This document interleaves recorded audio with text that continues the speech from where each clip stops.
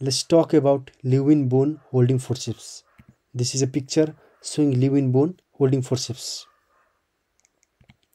The other name of this instrument is Joplin forceps. It is a grasping and holding type of instrument. Now identifying points. It is a ringed handles with very sharp double curved graspers. Use. It is used for manipulating bone fractures into place and for holding the fracture in alignment while plates and screws are placed. The Lewin forceps can also be used during a hip arthroplasty to punch holes in bone for passage of the sutures when closing the joint. Important point to remember while using this instrument.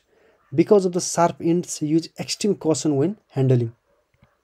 End of the topic.